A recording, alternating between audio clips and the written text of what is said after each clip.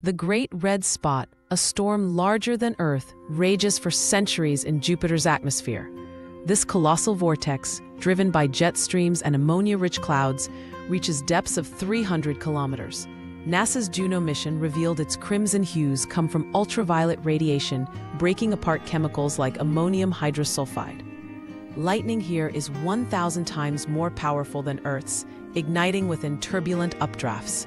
The storm's outer bands swirl at 432 kilometers per hour. A mesmerizing dance of fluid dynamics on a planetary scale. Zooming into the storm's heart, we witness lightning forged in hydrogen helium chaos. These fractal bolts form when water ice collides with slushy ammonia, creating charge separation.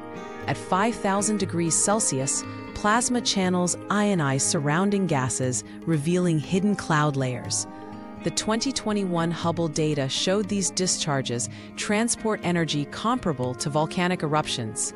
Notice how the bolt's path follows turbulent eddies, a direct manifestation of Navier-Stokes fluid equations governing Jupiter's atmosphere.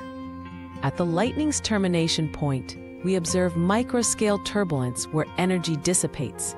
Superheated gases reaching 30,000 degree K create iridescent shock waves, visible in specific infrared wavelengths. NASA's Juno Microwave Radiometer detected these hotspots as atmospheric windows into deeper layers. The swirling eddies here follow Kolmogorov's turbulence theory, transferring energy downward to fuel the larger storm. This cross section reveals how small scale chaos becomes the engine for planetary scale phenomena.